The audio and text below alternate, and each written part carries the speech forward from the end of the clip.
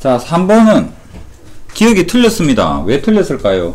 등호 등호가 없네요. 이게 어, 여기가 빠졌죠.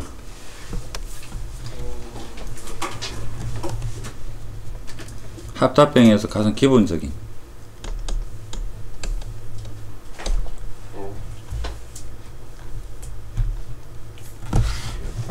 니은은 어떻습니까? 맞아요 왜 맞을까요? 그건 모르겠어요 limit AN, limit BN 인정을 해요. 예. 왜 맞지? 난 기억들이 틀려가지고. 다음 자, 알파가 크다 했으니까요. 알파 마이너스 베타 한번 표현을 해볼게요. 알파 마이너스 베타는 시그마 1에서 무한대 AN이랑 빼기 시그마 1에서 무한대 BN인데 시그마는 합해서 적을 수가 있습니다. AN 마이너스에 BN이라고 적을 수가 있는데 AN이 BN보다 항상 크죠? 단 한 번도 같을 수도 없는 거잖아. 그렇다면 이것은 시그마 1에서 무한대까지 어떤 양수의 합이라고 볼 수 있겠죠.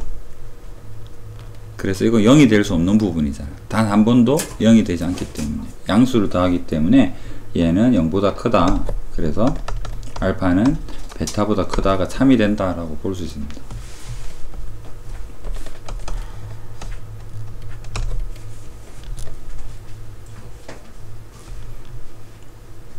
디귿은 여기다가 바로 적어 볼게요. 알파 베타 알파가 베타보다 크다가 지금 중요한 게 아니죠. 시그마가 수렴한대요. 시그마가 수렴한대요. 그래서 limit AN 뭐가 됩니까? 0이 되고요. limit BN은 0이 되죠. 등호가 있어야 되는데 등호만 있었어도 참이겠죠. 그 등호가 빠져 있습니다.